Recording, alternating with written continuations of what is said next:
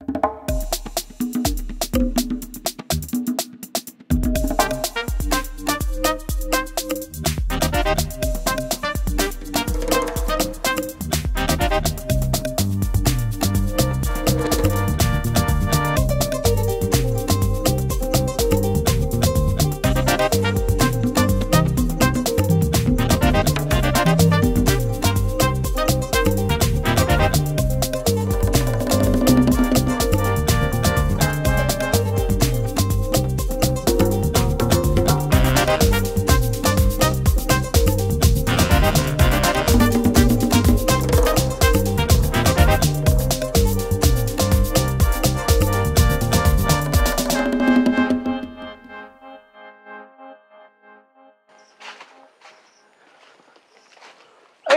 monsieur Girard, vos bananiers sont beaux et vous avez récolté de très beaux régimes. Mais comment vous faites?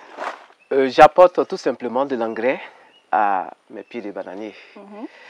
Ça me permet non seulement d'avoir de gros régimes, mais aussi d'avoir des plantes en bonne santé. Et lorsque une plante est en bonne santé, elle va mieux résister euh, aux nématodes, les charançons Mhm. et même aussi euh, à la sécosporiose. Ah, super. Donc, euh, je peux dire euh, de façon globale que la plante, euh, quand elle est en bonne santé, elle va résister, euh, résister mieux à la sécheresse. Ah, wow. Super. Un chercheur du CIRAD a promis de mieux nous expliquer les besoins du bananier plantain. Mhm. D'accord, allons-y.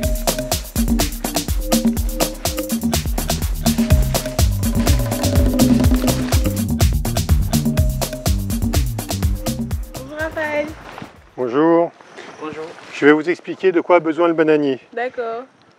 Donc pour euh, produire la matière végétale et spé- spécialement pour euh, produire les feuilles, le Mhm. bananier a besoin d'azote.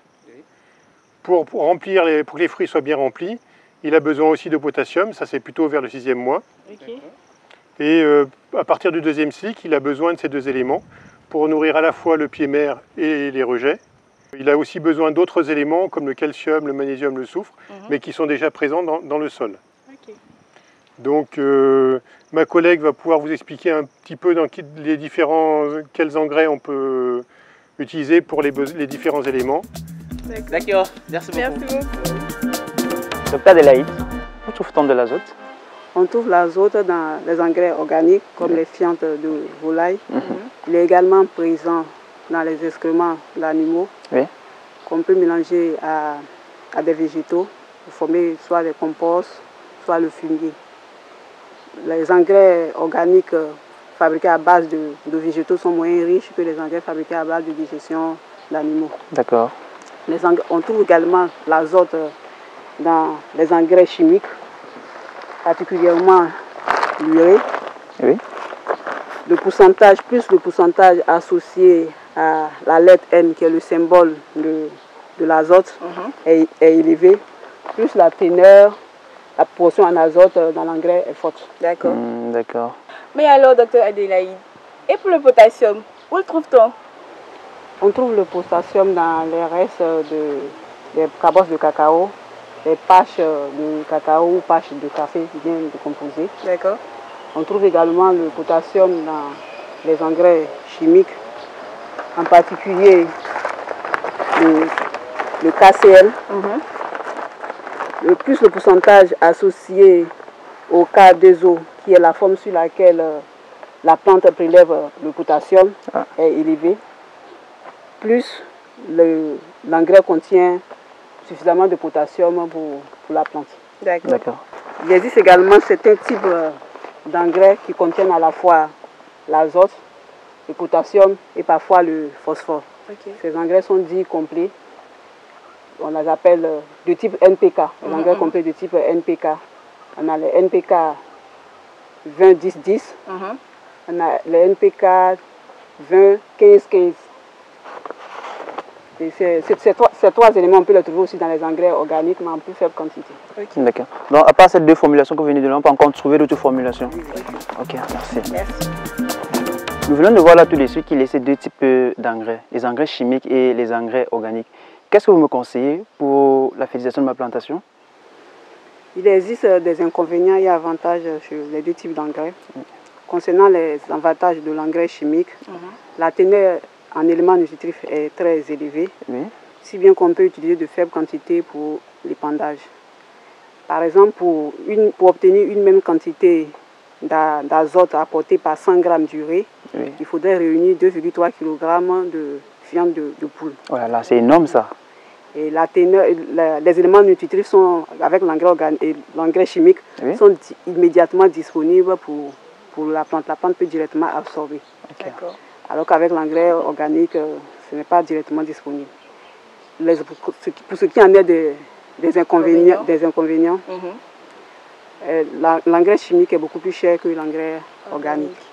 Et l'application demande qu'on se protège les mains pour éviter, porter par exemple des gants, pour éviter les irritations de la peau. Ok.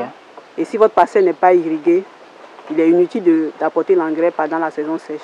Si c'est l'urée que vous épandez, une partie va s'évaporer et l'autre par- l'autre partie ne pourra pas pénétrer facilement le sol et donc ne sera pas disponible pour le bananier. Ok. D'accord. Un, un autre inconvénient, c'est que si vous faites l'épandage ju- pendant une pluie ou avant juste une grande pluie, il faudra reprendre l'épandage. D'accord pour les engrais chimiques. Et pour les engrais organiques, qu'en pensez-vous, docteur Atsa Pour l'engrais organique, euh, nous avons comme euh, inconvénient, euh, l'engrais doit être, doit être bien décomposé avant au- épandage au pied des bananiers. Sinon, il chauffe et il peut tuer le, le- le jeune plant de bananier. Voilà. Aussi, pour pouvoir bien dépendre l'engrais l'engrais organique, Oui. il faut une grande quantité, contrairement à l'engrais chimique. Par contre, au niveau des avantages, vous voyez euh, l'engrais organique, en plus de nourrir le bananier, Mhm. il améliore le sol. Et comment?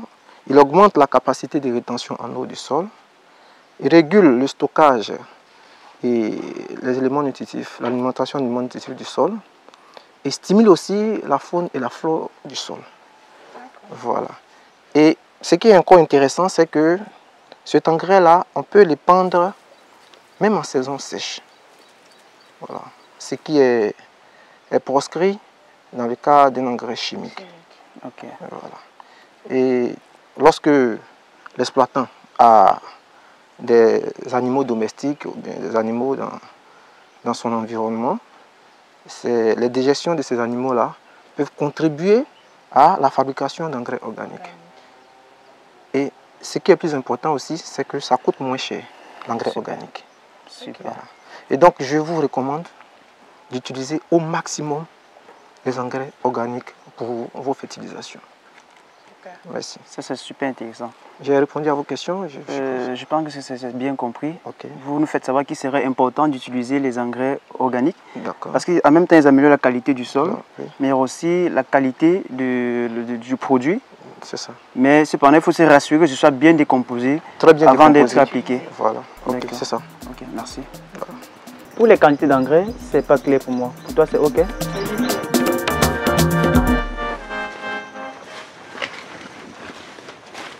Raphaël, comment on fait pour savoir la quantité d'engrais qu'il faut apporter et à quelle période l'apporter Alors les quantités d'engrais dépendent de votre sol. D'accord. Le sol contient déjà du- de l'azote et du potassium, Oui. mais euh, généralement pas suffisamment pour le bananier. Ok, Allez voir des producteurs pour avoir des exemples de programmes de fertilisation. d'accord. Merci beaucoup. Merci. Monsieur Kini, Monsieur?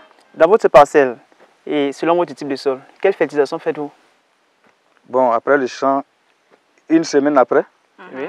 j'utilise euh, mes engrais, le DAP, Ah, du phosphore. c'est ça Ok. 100 grammes papier, 100 grammes. D'accord. oui. Ce qui favorise euh, de se développer rapidement par ses racines. Ok. D'accord. Donc ça, paye- ça permet un meilleur racinement. C'est ça, oui. D'accord. Ok, après ça, un mois après, j'utilise euh, la pâche cacao, La pâche D'accord. cacao. ce qui est dans le sac que vous voyez. Ok. Et les deux sacs vont 15 kilos. Et les 15 kilos, c'est pour un pied. On dépend de la totalité. Voilà. D'accord.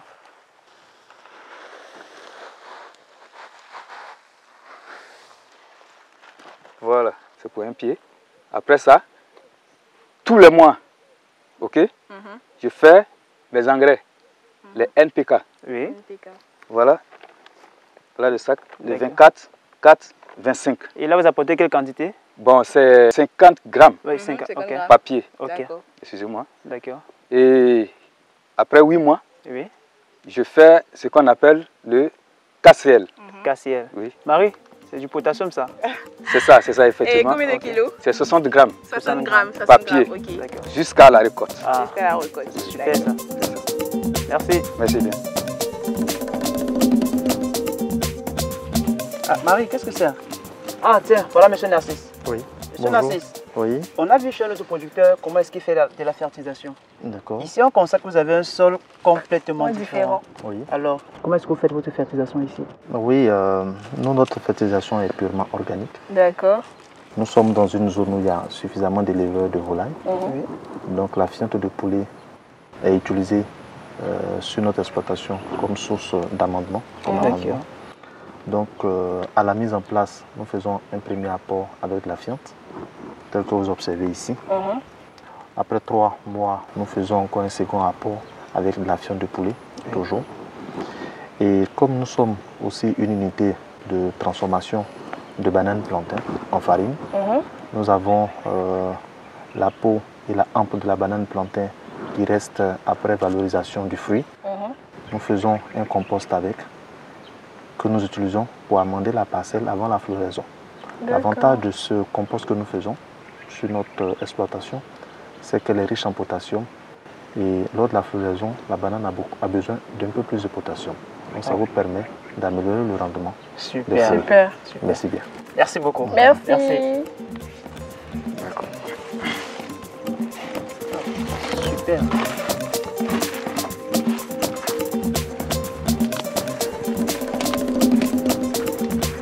Raphaël, nous avons vu plusieurs cas de fertilisation.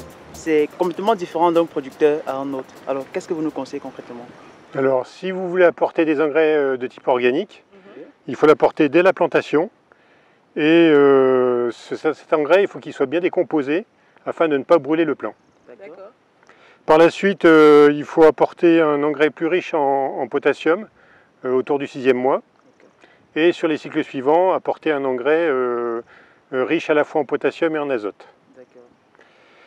Si vous choisissez d'apporter de, l'engrais uniquement chimique, euh, il est préférable de reporter le premier apport à deux mois après plantation pour des rejets, ou un mois s'il s'agit de vitroplan ou de vivoplan.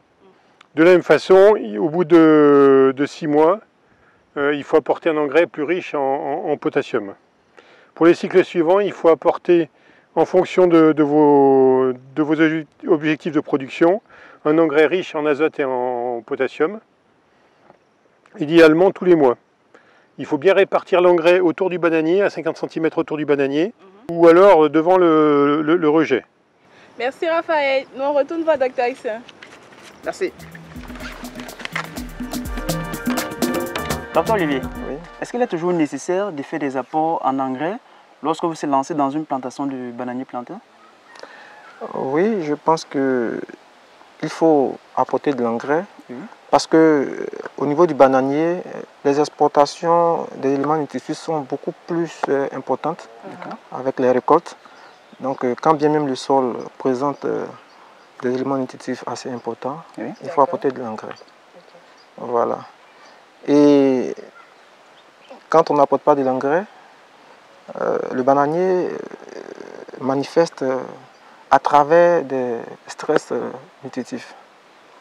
Alors pour l'azote, on a les feuilles qui euh, prennent une couleur vert pâle Oui.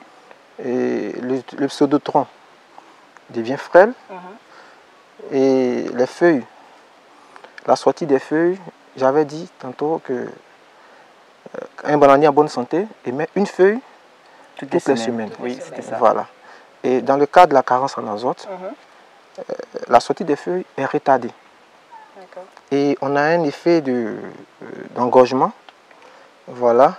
Et il faut noter que le bord des, des pétioles Oui. euh, se colorie, se, se colore en, en rouge rosé. voilà. Ça, c'est ce qui est pour la carence en azote. Et il y a, en plus de cela, un allongement du cycle.